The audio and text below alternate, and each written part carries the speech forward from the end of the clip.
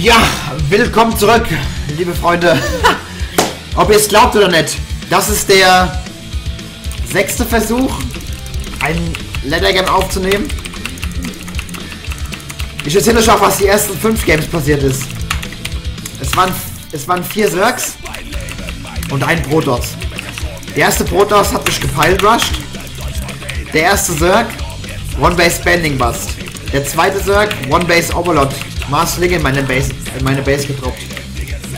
Der dritte Zerg, äh, One-Base Mars Speedlinge. Und der andere, ah, keine Ahnung, jedenfalls, was ich mit sagen will, alle haben All-Int. Es ist sehr, sehr schwer, in Legacy of the Void einen, wie soll ich sagen, ein StarCraft-Spiel zu spielen, was auch wirklich StarCraft ist, was nicht nur All-In sind. Es ist echt krass. Wir machen es jetzt so, scheißegal wie dieses Game hier läuft, ich lasse es jetzt drin und werde euch ein bisschen was erzählen.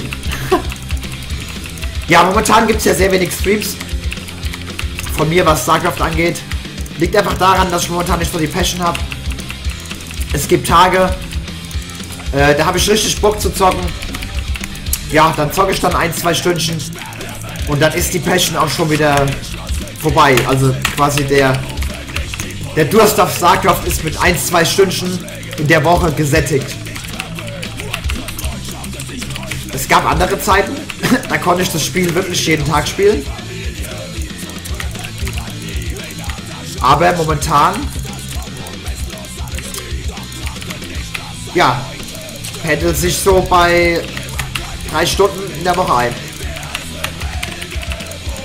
Ich hoffe, dass die Passion wieder richtig zurückkommt.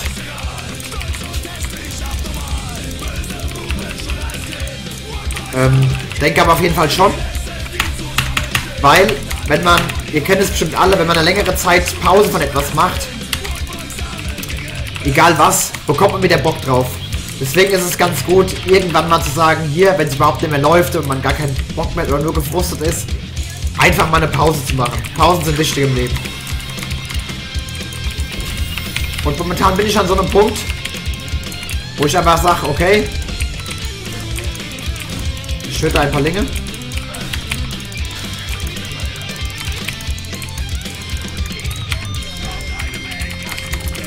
Und ja, achso, äh, und äh, Brood War HD Remake ist angekündigt. Spätestens da wird auf jeden Fall die Patch zurückkommen. So, ich muss, jetzt, ich muss jetzt ein bisschen weniger reden. Ich erzähle noch nach dem Game ein bisschen was. Aber sonst kacke ich jetzt gleich völlig ab.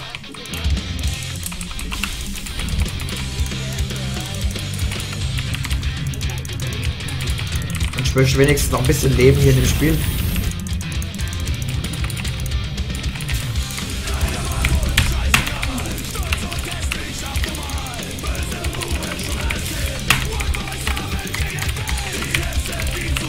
So, jetzt muss ich bisschen konzentrieren. Normalerweise kann ich reden und spielen, aber wenn man so lange nicht gespielt hat, sind die Mechanics ein bisschen eingerostet.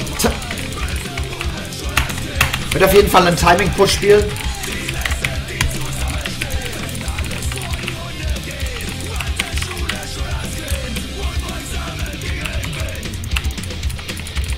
Denn was anderes ist sehr, sehr schwer auszuführen. Und meinen momentanen Mechanics, die momentan wirklich sehr, sehr schlecht sind, werde ich kein Late Game gegen Zerg spielen können. Der Late Game gegen Zerg ist pretty tricky.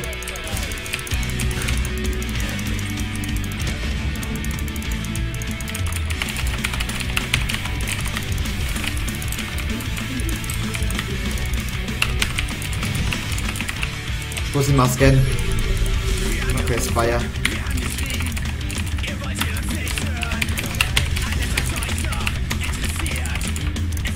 Feuer ist nicht so schlimm.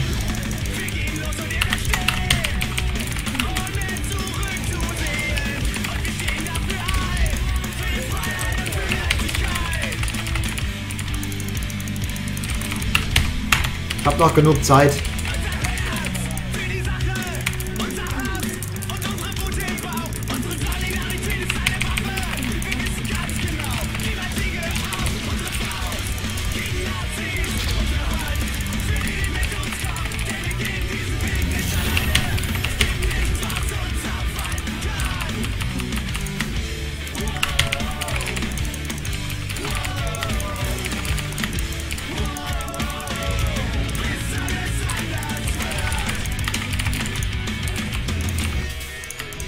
So, alle wichtigen Punkte abgedeckt.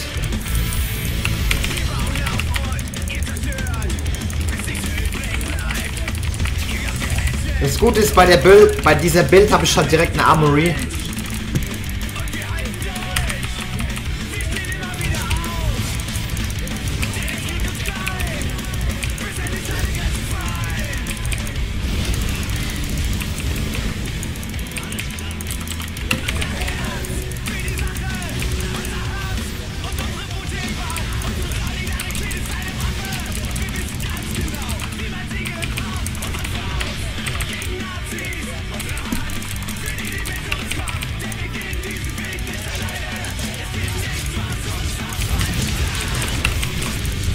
Ja, er ist halt komplett im Arsch.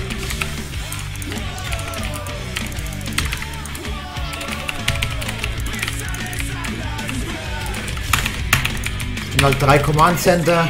Der Drop hat jetzt halt keinen Damage gemacht. Er hatte die Mutters früher draußen, als ich dachte. Jetzt baue ich... Ja, ja, er kann auch nichts machen, ne?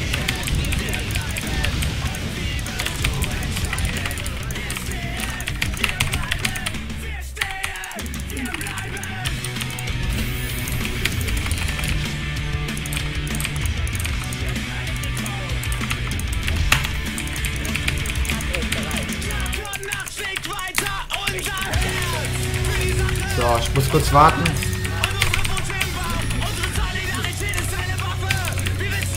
Okay, Turret ist fertig.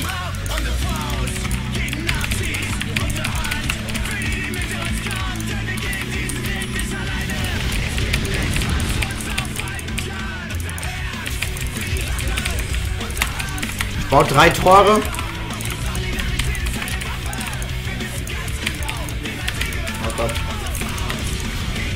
Tut mir leid, ich muss meinen Dings töten.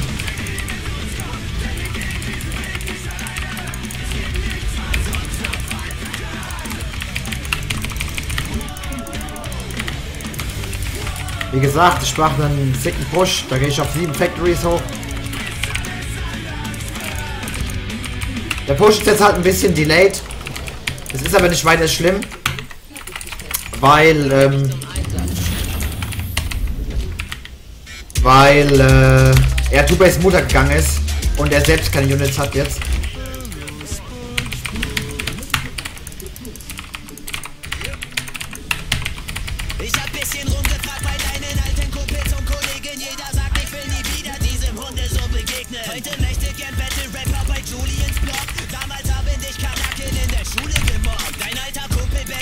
So, jetzt auf jeden Fall schön Upgrades machen und die ganze Zeit Units durchpumpen. Schule abgebrochen und dich danach einer Neonazi-Truppe angeschlossen. Fingst irgendwann an mit rechts radikalem deutschen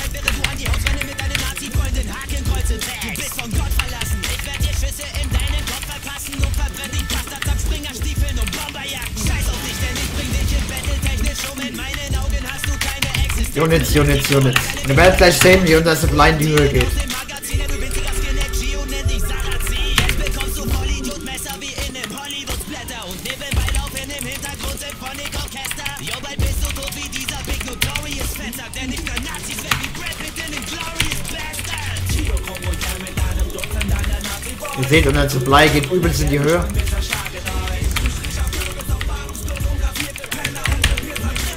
LOL.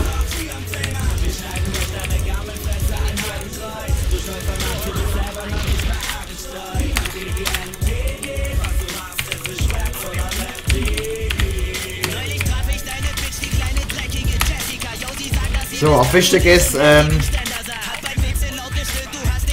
brauchen einen Raven. Bei dem Push. Das ist ganz wichtig. Dieser Schwamm hat nen langen, yo, mein Schwanz hat das Volumen von zwei Langhantelstangen. Und mir dann im 10 Minuten Tag bei WhatsApp geschrieben, kann ich bitte noch mal Cockwarts den Boss-Rapper kriegen. Sympathie durch Selbstironie der Kinder schreckt es sich selbst schickt auf Tracks, das könnte funktionieren, hättest du dein hässliches Gesicht versteckt. Du Cocklenker bist fame-geil, bist dich selbst, aber du bist nicht Eminem und Julians Block Battle nicht. So, mit dem Raven gehen wir dann los.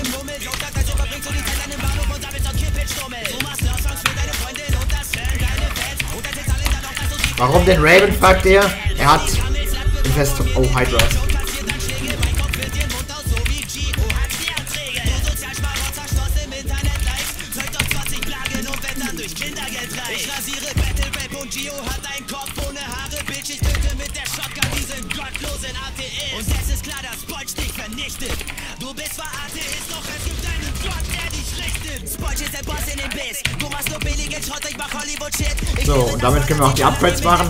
die Kopfshots in dein Gollum-Gesicht.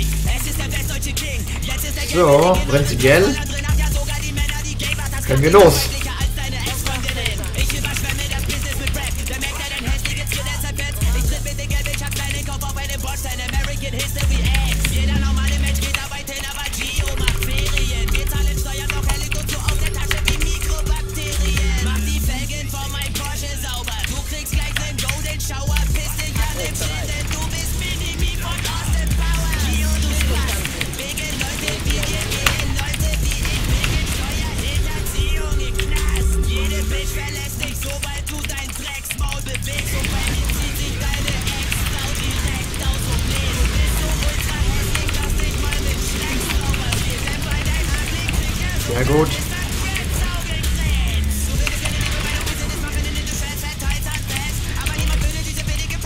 Hat auch gut funktioniert.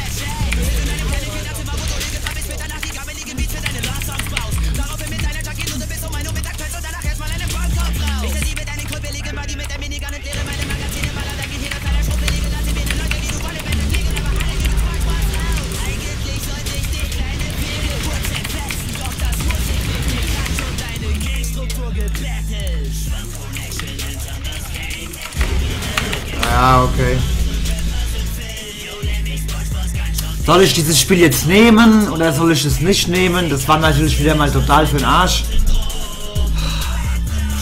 Das Problem ist einfach, hier übrigens Chip der Decker zugedeckt. Das Problem ist einfach,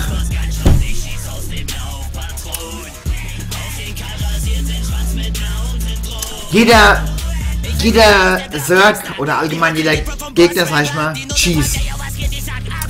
Und aufgrund von diesem Rumgecheese im Early Game, wie der zum Beispiel, Two-Base Mutter, aufgrund dessen kommt kein richtiges Game zustande. Ja? Er hat sich dazu entschlossen, Two-Base Mutter zu gehen. Meine Bild war quasi ein Hard-Counter dagegen, da ich schon eine Armory habe und direkt Tors und Liberator holen kann. Prinzipiell er hat countert, er hat gecheased, ist ein Win automatisch für mich.